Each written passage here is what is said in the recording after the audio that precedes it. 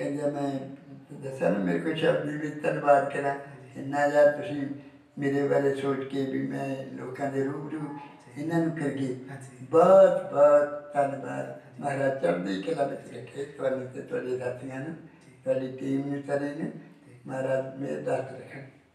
ਬਹੁਤ ਧੰਨਵਾਦ ਜੀ। ਔਰ ਇਸੇ ਤਰ੍ਹਾਂ ਹੀ ਤੁਹਾਨੂੰ ਨਵੇਂ ਕਲਾਕਾਰ ਨੂੰ ਮਿਲਾਵਾਂਗੇ ਨਵੀਆਂ ਐਂਟਰੋ ਦਿਖਾਵਾਂਗੇ ਤਦ ਤੱਕ ਲਈ ਰੱਬ ਰੱਖਾ